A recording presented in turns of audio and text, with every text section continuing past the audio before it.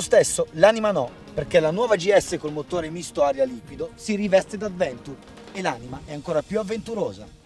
Il motore quindi è il cuore già conosciuto sulla nuova GS con stessi valori 125 cavalli e 125 Nm.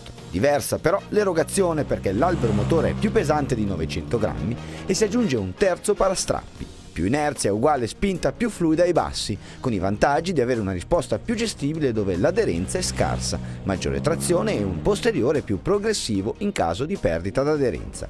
Insomma, c'è ancora più margine.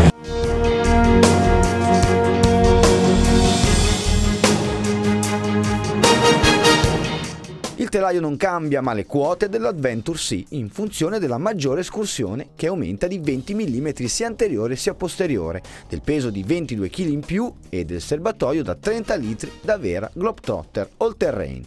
Oggi ancora di più perché i consumi diminuiscono. Più corta l'avancorsa 24,5 gradi l'inclinazione del cannotto di sterzo, più lungo l'interasse, con il braccio longitudinale del telelever rivisto in funzione di una maggior maneggevolezza. Tutto il resto è questione di avventura, anche e soprattutto in fuoristrada. Barre paramotore, fari aggiuntivi, sella più comoda parabrezza maggiorato con paramani, piastra paramotore e pedane specifiche enduro con comandi pedali regolabili. Aspetto ascendente che come diretta conseguenza vede l'altezza sella aumentare, 890 mm in configurazione standard o 910 mm in quella rialzata.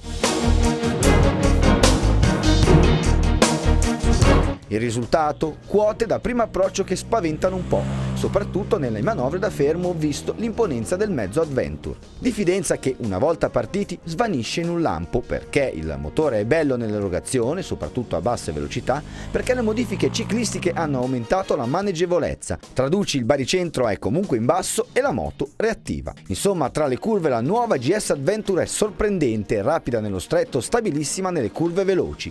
Progressione eccellente e concetto all terrain che ringrazia in un piacere di guida unico nel suo genere, appunto Adventure. Protezione poi aerodinamica che cresce con i paramani e il parabrezza maggiorato che aiutano. Stesso concetto anche per il discorso elettronica che segue il percorso già visto sulla GS. Controllo di stabilità ASC e ABS disinseribile di serie con due mappe Road e Rain, optional di Dynamic, Enduro ed Enduro Pro per controllo di trazione e ABS. A questo si aggiunge anche l'opzione del sistema DDC di sospensioni elettroniche e il quadro è completo. In conclusione l'Adventure 2014 conferma l'essere la versione XXL della sorella GS per chi sogna e poi affronta per davvero i viaggi a lungo, lunghissimo raggio su ogni tipologia di terreno.